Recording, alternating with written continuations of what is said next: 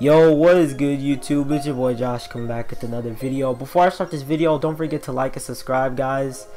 And alright, so basically to get this ankle breaker badge guys, you guys have to get 200 assists doing double move um, assists with double move um, leading to score. So basically if you guys spam left and right, as you guys can see from two of these clips, and we'll analyze both of these really goodly. So basically as you can see we're spamming left and right and then boom. So as you can see guys just from that I found another way how to get um assist every time. As you can see from this clip right here the alley-oop um, clip all you have to do is get into orange juice. So to get into orange juice you have to pass it to him and get three assists with them.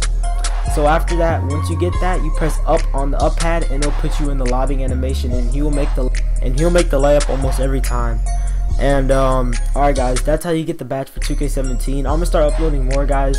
I was just grinding for the badge to start uploading. Some of you taking ankles, hoop mixtapes is coming on the way, and I'm gonna start grinding. And alright guys, don't forget to like subscribe, and alright, I'm out.